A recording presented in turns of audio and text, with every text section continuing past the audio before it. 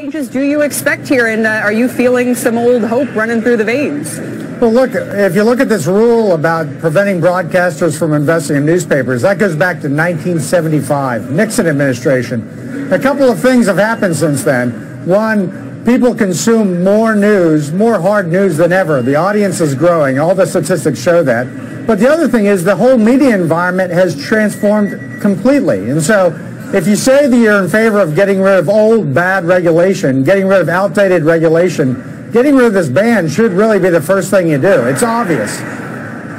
Barton, um, you know, setting aside perhaps the cross-ownership uh, issue, a lot of things seem to be uh, impacting Facebook and some of the other new media platforms here, not just necessarily uh, some kind of a tectonic shift back toward old media maybe. Uh, it's, you know, big growth stocks not doing all that well. But has anything happened to sort of call into question the quality of the, the Facebook platform and other social media platforms, or is this something that's fleeting in your mind?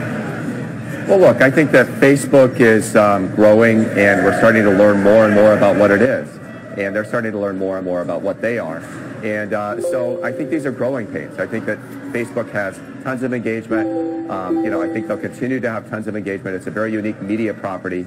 You know, but advertisers are learning that it maybe isn't the shiny uh, light that they thought before. And I think there's been a little bit of rotation of ad money back towards traditional media, back towards TV, uh, and away from some of the digital platforms. Facebook mm. is still growing great, but I think they'd be seeing better growth but for some of these quality questions. And David, I guess that raises the question if kind of these old media, of print and TV, were able to get together, as it will, uh, to, to leverage their own scale against uh, digital, what kind of consolidation would you expect? Well, first of all, on the, on the fake news front, uh, the answer to fake news are trusted brands. Uh, my members have been in the anti-fake news business for a couple hundred years, so there's going to be uh, an emphasis on quality in a world with a whole bunch of garbage news out there. Secondly, with consolidation, I mean, I don't think we have to worry really about consolidation in a world with so many media properties, with so much information coming at people. What we have to worry about are who do we trust?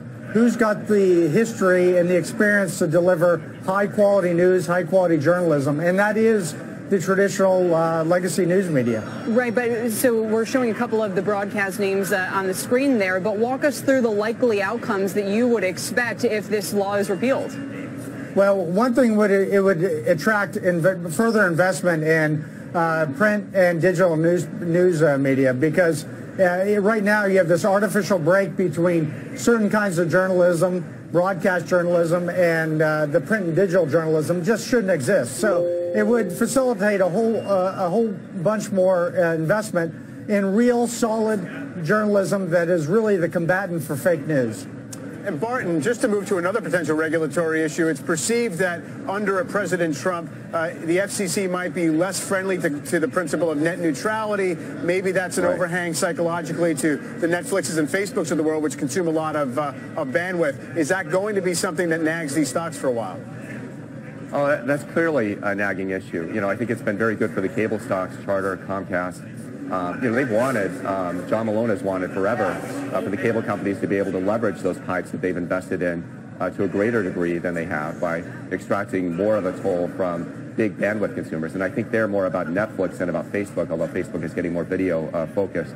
Um, so it's, it's a change in the landscape that, you know, with everyone thinking that the election was not likely to come out, you know, with Trump on top, um, you know, people are just starting to get kind of um, their minds wrapped around this idea that the net neutrality regime that Obama built up over the past eight years might be going. And what does that mean? You know, is it going to drive more vertical integration like AT&T and Time Warner? Um, I don't think we fully know the answers until we see who Trump appoints to head the FCC. Mm-hmm. I think that Trump has populist tendencies that are at odds with the, the classic Republican laissez-faire mm-hmm. uh, base that uh, would be the core group of people that you look to run the FCC. So if he takes an FCC insider like an Ajit Pai, it's going to be very hard to avoid the idea that you're going to roll back the Obama rules. If he brings an outsider, you know, someone who wants to uh, avoid media consolidation because Trump hasn't been particularly friendly to the media, he may not want that to consolidate. He might use the FCC as a tool right. to block it. So we got to look at who he appoints. You know, I think the odds-on favorite as he goes towards a Republican, uh, but mm-hmm. that's the rest of the story that David was putting out there.